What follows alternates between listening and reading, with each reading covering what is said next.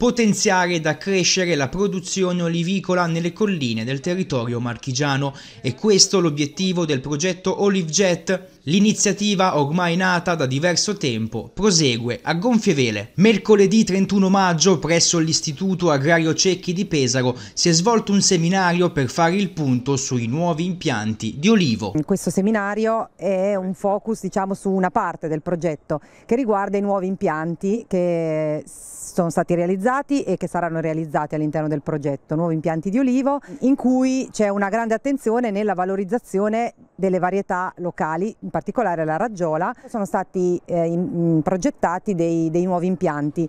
Eh, in particolare qui nella scuola eh, abbiamo l'impianto che è una parte ehm, con una densità diciamo medio-media, mentre poi ci sono dei filari con eh, l'alta densità. L'alta densità non è sinonimo di eh, un'olivicoltura eh, non rispettosa dell'ambiente o eh, per prodotti di bassa qualità, ma che è semplicemente un'altra modalità eh, di, di, di fare olivicoltura che permette una riduzione dei costi soprattutto per quanto riguarda la raccolta perché può essere fatta con la macchina scavallatrice quindi veramente costi molto ridotti e tempi molto ridotti. In questo modo è possibile fare addirittura una qualità anche migliore perché la raccolta è molto più rapida, si evita il calpestamento a terra dei, dei frutti e i, i frutti vengono immediatamente e velocemente portati al frantoio. Un nuovo impianto, spiega Veronica Giorgi, con un basso impatto ambientale. Il progetto OliveJet, giunto ormai al quarto anno, diventa così una parte innovativa e importante del piano studi dell'Istituto Agrario Cecchi di Pesaro. Noi abbiamo partecipato come istituto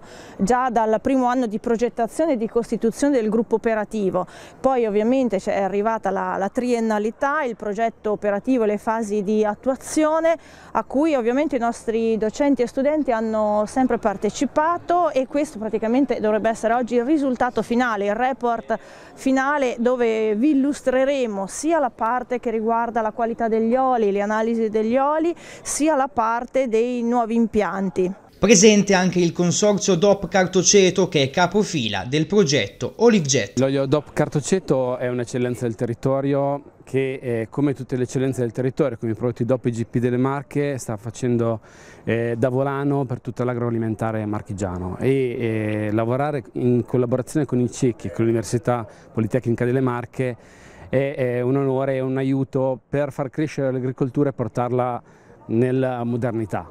Siamo in una situazione in cui eh, serve innovazione ma anche valorizzazione dei prodotti locali. Questo deve essere comunicato anche ai ragazzi perché gestire una propagazione del genere significa cambiare anche la propria visione di, eh, di potatura, eh, irrigazione e eh, gestione della nutrizione della pianta stessa. Progetti come, come questo possono permettere poi di arrivare fino agli agricoltori. Tecniche culturali e non solo, importante anche l'aspetto paesaggistico all'interno del progetto OliveJet. L'aspetto paesaggio è importante in uno studio che riguarda l'olivicoltura, capire come è cambiata, come si sono trasformate le varie tipologie, quindi le varie forme di paesaggio, eh, serve anche per per progettare, pensare di sviluppare eh, l'olivicoltura attuale. Insomma.